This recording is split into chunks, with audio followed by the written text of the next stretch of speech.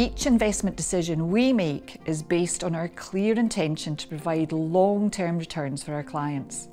We believe this is how investing should be, and we apply the same philosophy to income.